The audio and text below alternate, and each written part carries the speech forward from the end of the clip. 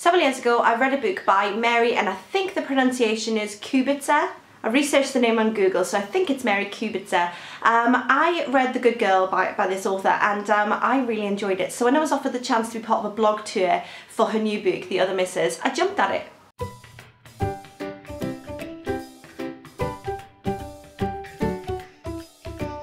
Everyone, hope you're all doing well. As I said, I'm here to discuss The Other Mrs by Mary Kubica. Um, and yeah, so let's just crack on. So The Other Mrs is about sort of a, um, a messed up family dynamic.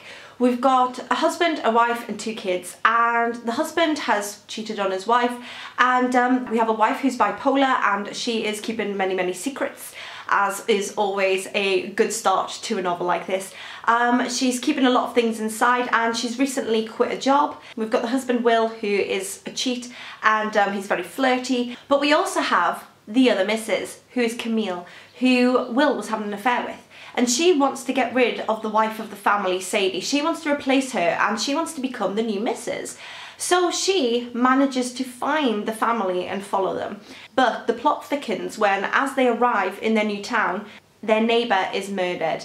And that opens a whole can of worms. This is another sort of unreliable narrator situation where we read one side of the story and we start to really believe their, their point of view, but then it switches and we start to question, do we believe what they originally said? Is this person lying? Um, and we jump back and forwards between the different points of view. As I've said before, I really enjoy books that have different points of view within them because I love that sort of mystery element where you're not quite sure what's going on and you sort of got to piece it together. That's all part of the fun for me and I really enjoy that in a thriller. This book to me was a bit like a roller coaster. It sort of builds up, you reach a little point in the middle and you're just sort of hanging around, um, waiting to see what's going to happen next and then you just tipple over the top and woof, off it goes. And I find myself just so desperately reading as I was getting near the end of it. I just wanted to know what had happened. Obviously this is a classic whodunit case where we desperately want to know who murdered the neighbour um, and with all the different points of view and the way that the story goes it keeps you guessing right till the end. I absolutely love the setting of this one. It's set in Maine and Will the husband has inherited a really old creepy house which just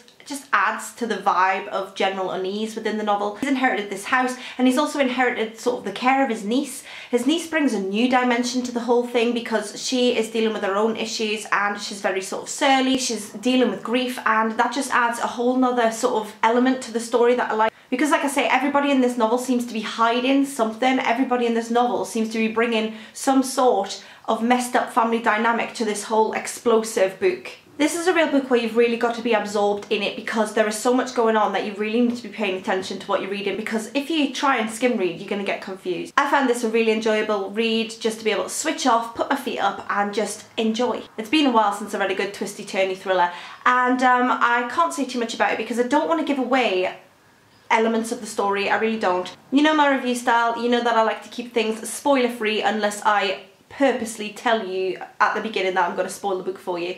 So generally my reviews are spoiler free so I'm going to keep it that way and I'm not going to say much more apart from I really enjoyed it and um, I would love to know if you are going to read this book have you already read it or have you read any more of this author's work? If you have, let me know and I will speak to you soon. Bye for now.